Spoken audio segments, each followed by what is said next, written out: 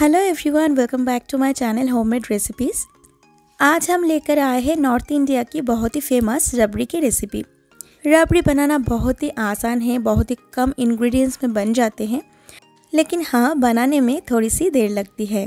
रबड़ी को आप किसी भी ओकेशन पे बना सकते हैं।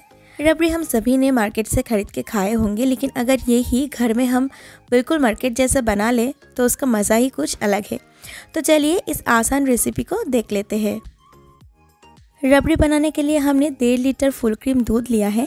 पहले गैस ऑन करके दूध को उबाल आने तक गर्म कर लेंगे। दूध को हम थोड़ी थोड़ी देर में चलाते रहेंगे ताकि दूध कढ़ाई की तले में ना लगे। हर दो मिनट में हम दूध को चलाते रहेंगे।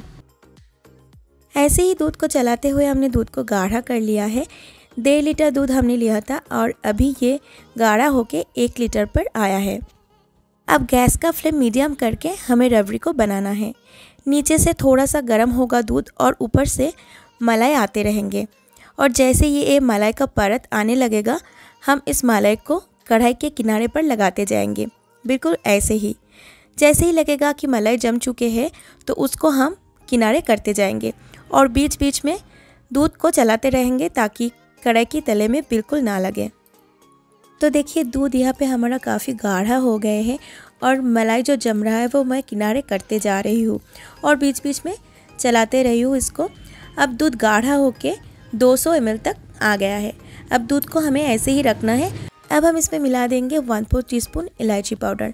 अगर आप केसर पसंद करते हैं तो केसर के धागे भी यहाँ पे डाल सकते हैं।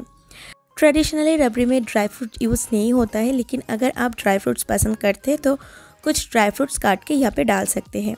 अब मैं इस रबड़ी के अंदर दो टेबलस्पून चीनी मिला दिया, ताकि ये थोड़ा सा मीठा हो और खाने में बहुत ज़्यादा टेस्टी हो। अच्छे से मिक्स कर देने के बाद अब गैस का फ्लेम बंद कर देंगे और रबड़ी को ढक के रख देंगे ठंडा होने के लिए। अब हमारा रबड़ी जो है, वो यहाँ पे ठंडा हो चुके हैं। अब कढ़ाई के किनारों पे जो मलाई जमी है, उसको खूरच कर दूध में मिलाएँगे। तो मैं यहाँ पे छोटी छोटी टुकड़ों में मलाई को काट रही हूँ और इसको दूध में मिलाते जा रही हूँ। अगर आप चाहे तो एक ही बारे में मलाई को खूरच कर दूध में मिला सकते हैं। बहुत आसान है ऐसे लच्छेदार, रबड़ी बनाना और खाने में भी तो बहुत ज़्यादा टेस्टी होते हैं। तो अगर आप चाहते हैं तो इस होली में ही घर में आसानी से बना सकते हैं। बिल्कुल मार्केट जैसा लच्छेदार रबड़ी। तो हमने सारे मलाई के लच्छे को अच्छे से दूध में मिला लिया है और ये रबड़ी बनकर तैयार है। अब हम इसको कटोरी में निकाल लेंगे और सर्व कर देंगे।